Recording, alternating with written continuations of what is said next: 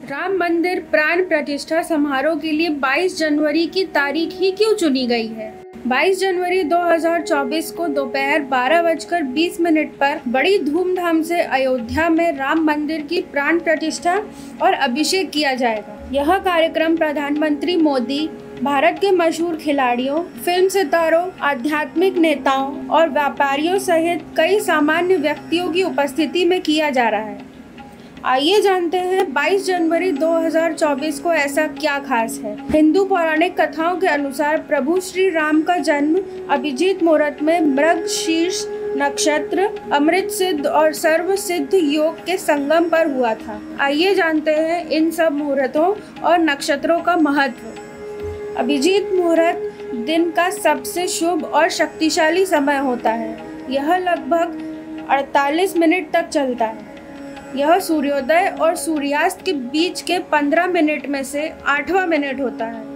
22 जनवरी 2024 को अभिजीत मुहूर्त दोपहर बारह बजकर सोलह मिनट से शुरू होगा और बारह बजकर उनसठ मिनट पर समाप्त होगा। यह हिंदुओं के लिए एक शुभ समय है। क्योंकि इस अवधि के दौरान भगवान शिव ने राक्षस त्रिपुरासुर का वध किया था। हिंदू पौराणिक कथाओं के अनुसार यह अवधि व्यक्ति के जीवन से नकारात्मक ऊर्जा को दूर करती है। अब बात करते हैं मृग शीर्ष नक्षत्र की। वैदिक ज्योतिष के अनुसार मृग शीर्ष 27 नक्षत्रों में से पांचवा नक्षत्र है, जो ओरियन नक्षत्र का प्रतिनिधित्व करता है। मृग शीर्ष का अर्थ है हिरण का सर। आपको बता दें, मृग, शीर्ष नक्षत्र में जन्म लेने वाले लोग, अच्छे दिखने वाले, आकर्षक, मेहनती और बुद्धिमान होते हैं। जैसे हमारे भगवान प्रभु श्री राम थे। 22 जनवरी को मृग, शीर्ष नक्षत्र तीन बजकर बावन मिनट पर शुरू होगा और 23 जनवरी 2024 को सात बजकर तेरह मिनट तक रहेगा।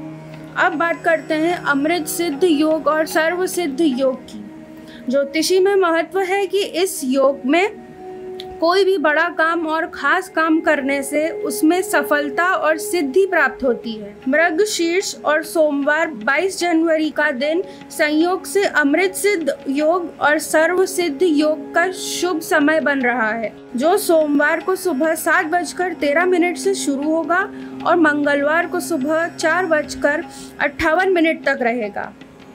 इन सब कारणों से अयोध्या में राम मंदिर की प्राण प्रतिष्ठा और अभिषेक समारोह के लिए आदर्श तिथि बन जाएगी और यह सारे संयोग मिलकर वही समय हो जाता है, जिसमें हमारे प्रभु श्री राम ने धरती पर जन्म लिया था। यह हमारे लिए सौभाग्य की बात है कि इस अद्भुत समय और आयोजन का हमें इस कलयुग में भी अनुभूति और दर्शन करने मिलेगा।